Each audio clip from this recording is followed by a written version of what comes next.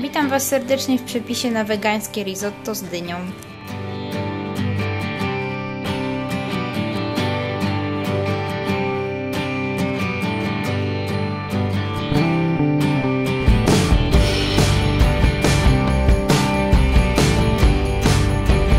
Zaczynamy od pokrojenia dyni w dość drobną kostkę. Ja mam tutaj dwa rodzaje dyni, to jest dynia Hokkaido i dynia piżmowa i po prostu używam po pół z każdej z tych dyń, żeby mieć urozmaicenie, ale Wy możecie równie dobrze po prostu użyć sobie jednej i używamy jej około kilograma tutaj na te porcje risotto.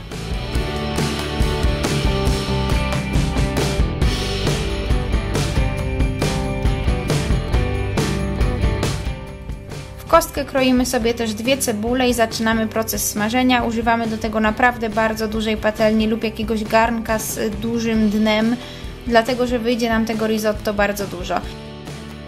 Roztapiamy sobie łyżkę oleju kokosowego, wrzucamy na to dynię z cebulą, chwileczkę podsmażamy, dodajemy też y, tutaj do tego ten ryż, i też przesmażamy, aż zacznie tak troszeczkę skwierczyć. Sypiemy też do tego przyprawy, całą listę przypraw macie na początku filmiku. Oczywiście wszystko możecie modyfikować, tylko tak dla informacji ja użyłam aż 5 łyżeczek soli, to jest naprawdę duża porcja, więc nie liczcie na to, że po jednej łyżeczce to już będzie smaczne, tak tylko Wam mówię, żebyście nie byli podirytowani.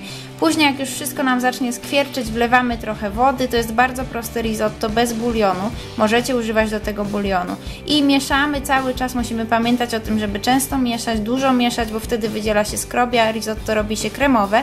Dolewamy stopniowo wody, u mnie zeszło aż prawie 3 litry. Na koniec jeszcze dodaję część przypraw, E, i dodaję też mleko kokosowe, całą puszkę i to wszystko mieszam i jeszcze wykańczam tutaj to risotto nieaktywnymi drożdżami, żeby nadać troszeczkę serowego posmaku i to już naprawdę wszystko, także jak widzicie jest to naprawdę bardzo prosty przepis i mam nadzieję, że zdecydujecie się wypróbować go kiedyś tam i że będzie Wam się podobał i dziękuję Wam bardzo za oglądanie i do zobaczenia następnym razem. Pa, pa!